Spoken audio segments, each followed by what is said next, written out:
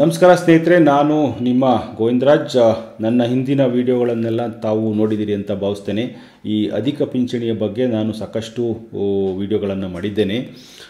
ಅದಲ್ಲದೆ ಈ ಪಿಂಚಣಿ ಮತ್ತು ಭವಿಷ್ಯ ನಿಧಿಯ ಮಾಹಿತಿಗಳ ಬಗ್ಗೆ ಸಾಕಷ್ಟು ವಿಡಿಯೋಗಳನ್ನು ಮಾಡಿದ್ದೇನೆ. ತಾವು ನನ್ನ ಚಾನಲ್ನ ಸಬ್ಸ್ಕ್ರೈಬ್ ಮಾಡಿಕೊಂಡು ಈ ವಿಡಿಯೋಗಳನ್ನು ತಾವು ನೋಡ್ಬೋದಾಗಿದೆ. ನೋಡಿದ್ದರೆ ಧನ್ಯವಾದಗಳು. ಈ ವಿಡಿಯೋದಲ್ಲಿ ನಾವು ಕೆಲವೊಂದು ಈ ಅಧಿಕ ಪಿಂಚಣಿ ಬಗ್ಗೆ ಒಂದಷ್ಟು ಅಪ್ಡೇಟ್ಸನ್ನು ತಿಳ್ಕೊಳ್ಳೋಣ.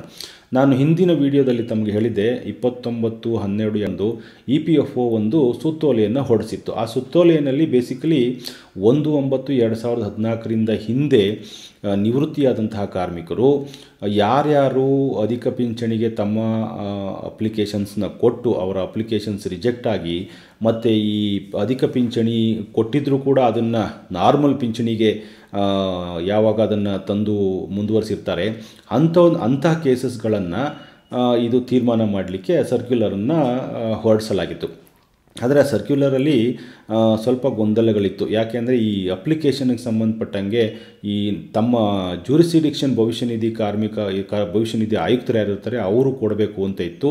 ಅದಕ್ಕೆ ಸಂಬಂಧಪಟ್ಟಂಗೆ ಏನೇನು ಮಾಹಿತಿಗಳು ಕೊಡಬೇಕಾಗತ್ತೆ ಅನ್ನೋದು ಇನ್ನೂ ಗೊಂದಲ ಇಲ್ಲ. ನಿಮ್ಮ ಸಂಬಂಧಪಟ್ಟ ಭವಿಷ್ಯ ನಿಧಿ ಆಯುಕ್ತರು ಕೊಟ್ಟಿದ್ದರೆ ತಾವು ಅದರಲ್ಲಿ ಸಲ್ಲಿಸ್ಬೋದಾಗಿತ್ತು ಸೊ ಅದಲ್ಲದೆ ನಾನು ನಿಮಗೆ ಈ ಒಂದು ಒಂಬತ್ತು ಎರಡು ಸಾವಿರದ ಹದಿನಾಲ್ಕರಿಂದ ಹಿಂದೆ ನಿವೃತ್ತಿಯಾಗಿದ್ದರೆ ತಾವು ಕೆಲವೊಂದು ಮಾಹಿತಿಗಳನ್ನು ತಮ್ಮ ಹತ್ರ ಇರಬೇಕು ಅಂತಲೂ ಕೂಡ ಹೇಳಿದ್ದೆ. ಆ ವಿಡಿಯೋ ತಾವು ನೋಡಿ, ನೋಡಿದರೆ ತಮಗೆ ಗೊತ್ತಾಗುತ್ತೆ. ಸೊ ಇದು ಒಂದು ಅಪ್ಡೇಟು. ಅದಲ್ಲದೆ ನೀವು ಇ ಪಿ ಎಫ್ ಒ ವೆಬ್ಸೈಟ್ಗೆ ಹೋದರೆ ನಿಮಗೊಂದು ಒಂದು ಮಾಹಿತಿ ಸಿಗುತ್ತೆ ಅಲ್ಲಿ. ಈ ನಿವೃತ್ತಿಯಾದಂತಹ ಕಾರ್ಮಿಕರಿಗೆ ಯಾರು ಅಧಿಕ ಪಿಂಚಣಿಗೆ ಅರ್ಹರಿದ್ದರು ಅವ್ರಿಗೆ ಸಂಬಂಧಪಟ್ಟಂಗೆ ಅವರ ಅಪ್ಲಿಕೇಶನ್ಸ್ನ ವ್ಯಾಲಿಡೇಟ್ ಮಾಡಲಿಕ್ಕೆ ನಾವು ಒಂದು ಆನ್ಲೈನ್ನ ಲಿಂಕ್ ಕೊಡ್ತೇವೆ ಅಂತ ಒಂದು ಮಾಹಿತಿ ನಿಮಗೆ E P F O official ವೆಬ್ಸೈಟ್ನಲ್ಲಿ ಅಪೇರ್ ಆಗ್ತಾ ಇರ್ತದೆ. ನಾನು ನಿಮಗೆ ಈ ವಿಡಿಯೋದಲ್ಲೂ ಕೂಡ ತೋರಿಸ್ತಾ ಇದ್ದೀನಿ. ಸೊ ಇದೊಂದು ಅಪ್ಡೇಟು. ಅದಲ್ಲದೆ ಇನ್ನೊಂದು ಏನಪ್ಪ ಅಪ್ಡೇಟ್ ಅಂದರೆ ರೀಸೆಂಟಾಗಿ ಐದು, ಒಂದು, ಎರಡು ಸಾವಿರದ ಇಪ್ಪತ್ತ್ಮೂರರಂದು ಒಂದು, ಇನ್ನೊಂದು ಸಣ್ಣ ಸುತ್ತೋಲೆಯನ್ನು ಹೊರಡಿಸಿದ್ದಾರೆ ಇ ಪಿ ಎಫ್ ಅವರು. ಅದರಲ್ಲಿ ಈ ಅಪ್ಲಿಕೇಶನ್ ಸಂಬಂಧಪಟ್ಟಂಗೆ ಒಂದಷ್ಟು ಕ್ಲಾರಿಫಿಕೇಷನ್ಸ್ ಬಂದಿದ್ದಾವೆ ಅಂದರೆ ತಾವು ಏನು ವ್ಯಾಲಿಡೇಷನ್ನು ಅಪ್ಲಿಕೇಶನ್ಸ್ನ ತಾವೇನು ಸಬ್ಮಿಟ್ ಮಾಡ್ತೀರಿ, ಅದರಲ್ಲಿ ಒಂದು ಡಿಸ್ಕ್ಲೈಮರ್ ಕೂಡ ಅವರು ಹಾಕ್ತಾರೆ. ಅದನ್ನು ಯಾವ ಥರ ಏನು ಡಿಸ್ಕ್ಲೈಮರ್ ಹಾಕ್ತಾರೆ ಅನ್ನೋದು ಇನ್ನೂ ಗೊತ್ತಿಲ್ಲ.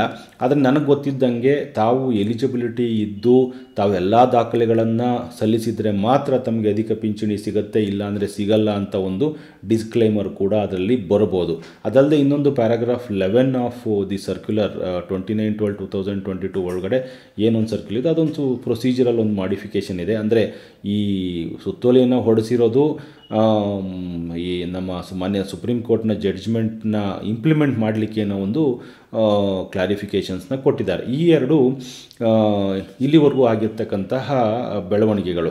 ಆದರೆ ನನ್ನ ತಮಗೆ ಸಲಹೆ ಏನಪ್ಪ ಅಂತಂದರೆ ಪಿ ಎಫ್ ಡಿಪಾರ್ಟ್ಮೆಂಟು ತಮಗೆ ಅಪ್ಲಿಕೇಶನ್ಸ್ ಕೊಡಲಿ, ಬಿಡಲಿ. ತಾವಂತೂ ತಮ್ಮ ದಾಖಲೆಗಳನ್ನು ಏನಿದಾವೋ ಅದನ್ನು ಒಂದು ಸಲ್ಲಿಸಿ ಅದಕ್ಕೆ ಅಭಿಪ್ರಾಯವನ್ನು ತಾವು ವೆಯ್ಟ್ ಮಾಡಬೇಕಾಗತ್ತೆ. ಈ ಬಗ್ಗೆ ಸಂಬಂಧಪಟ್ಟಂಗೆ ಶ್ರೀಯುತ ಶ್ರೀ ಎಸ್ ಕೆ ಗುಪ್ತಾ ಅವರು ಸುಪ್ರೀಂ ಕೋರ್ಟ್ ಅಡ್ವೊಕೇಟ್ ಅವರು ಒಂದು ಎರಡು ಫಾರ್ಮ್ಯಾಟ್ಗಳನ್ನು ಕೊಟ್ಟಿದ್ದಾರೆ. ಅದು ಸೋಷಿಯಲ್ ಮೀಡಿಯಾದಲ್ಲೆಲ್ಲ ತಮಗೆ ಸಿಗ್ತಾ ಇರ್ತದೆ.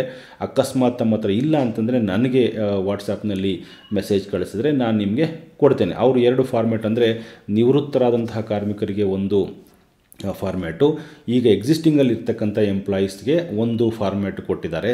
ಆ ಫಾರ್ಮ್ಯಾಟ್ನ ತಾವು ತುಂಬಿ ತಮ್ಮ ಎಂಪ್ಲಾಯರಿಂದ ಸೈನ್ ಮಾಡಿಸಿ ಇ ಪಿ ಎಫ್ ಒ ಡಿಪಾರ್ಟ್ಮೆಂಟ್ಗೆ ಸಲ್ಲಿಸಬೇಕು ಅನ್ನೋದು ನನ್ನ ನಿಮ್ಮ ಸಲಹೆ. ಸಲ್ಲಿಸಿದ ನಂತರ ನೀವೊಂದು ಹದಿನೈದು, ಇಪ್ಪತ್ತು ದಿವಸ ವೆಯ್ಟ್ ಮಾಡಿ ಏನೂ ತಮಗೆ ಉತ್ತರ ಬರದೇ ಇದ್ದರೆ ತಾವೇನು ಮಾಡ್ಬೋದು? ಒಂದು ಲೀಗಲ್ ನೋಟಿಸ್ ಕೂಡ ಇ ಪಿ ಎಫ್ ಒಗೆ ಕೊಡ್ಬೋದು. ಅದಲ್ಲದೆ ತಮ್ಮ ಅಪ್ಲಿಕೇಶನ್ ಬಗ್ಗೆ ಏನು ಆ್ಯಕ್ಷನ್ ತೊಗೊಂಡಿದ್ದಾರೆ ಅಂತ ಒಂದು ಆರ್ ಟಿ ಅಪ್ಲಿಕೇಶನ್ ಆಗಿ ತಿಳ್ಕೊಳ್ಳಿ.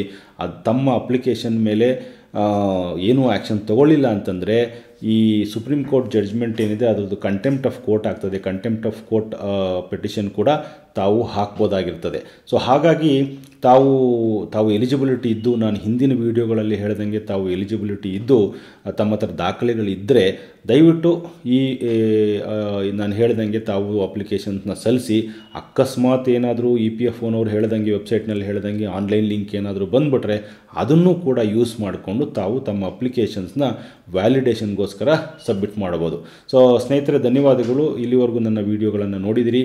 ನಾನೀಗಾಗಲೇ ಹೇಳ್ದಂಗೆ ಈ ಎಸ್ಪೆಷಲಿ ಭವಿಷ್ಯ ನಿಧಿ ಸಂಬಂಧಪಟ್ಟಂಗೆ, ಅಧಿಕ ಪಿಂಚಣಿಗೆ ಸಂಬಂಧಪಟ್ಟಂಗೆ, ಕಾರ್ಮಿಕ ಕಾನೂನುಗಳಿಗೆ ಸಂಬಂಧಪಟ್ಟಂಗೆ ನನ್ನ ಚಾನಲ್ನಲ್ಲಿ ಸಾಕಾ, ಸಾಕಷ್ಟು ವಿಡಿಯೋಗಳಿದ್ದಾವೆ ತಾವು ದಯವಿಟ್ಟು ನೋಡಿ, ತಮ್ಮ ಸ್ನೇಹಿತರುಗಳಿಗೂ ಕೂಡ ಇವನ್ನೆಲ್ಲ ಕಳಿಸ್ಕೊಡಿ. ಇದರಿಂದ ಅನುಕೂಲ ಆಗುತ್ತೆ ಅಂತ ಭಾವಿಸ್ತೇನೆ. ಮುಂದಿನ ವಿಡಿಯೋದಲ್ಲಿ ಹೊಸ ಮಾಹಿತಿಯೊಂದಿಗೆ ನಾನು ನಿಮ್ಮನ್ನು ನೋಡ್ತೇನೆ ಸ್ನೇಹಿತರೆ.